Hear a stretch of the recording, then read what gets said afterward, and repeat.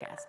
Kelly, thanks so much. The time now is 7:32. Well, we really hope you are sticking with those New Year's resolutions. And to help us stay motivated this morning, our Zainab Shaib is live in Perrysburg, working out with one local fitness group. Good morning, Zainab.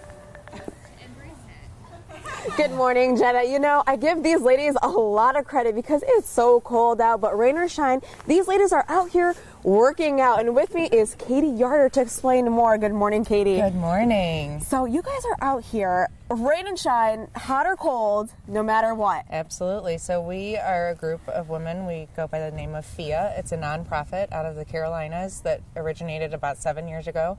And we um, became a region in Toledo in 2017. So we have adopted their core principles of always being outdoors.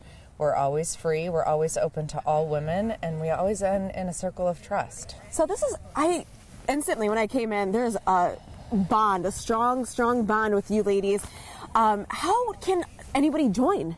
Anybody can join at any time. So we have a Facebook group. We're working on a new website page right now. Okay. Um, but you can go to FIA Nation and find the schedule for all the FIA workouts that are in the 11 states right now that you can locate. And you guys work out six days a week, correct? Here in um, the the Toledo region, yes, we work out. Actually, there's a workout seven days a week. Oh wow! So, so you yeah. said so dedicated. Well, thank you so much, Katie. And you guys are not going to miss it because next time you see us, we're gonna work out and pump a few iron, right? Yeah. So, reporting live in Perrysburg, Zainab Shaib for WTOL 11.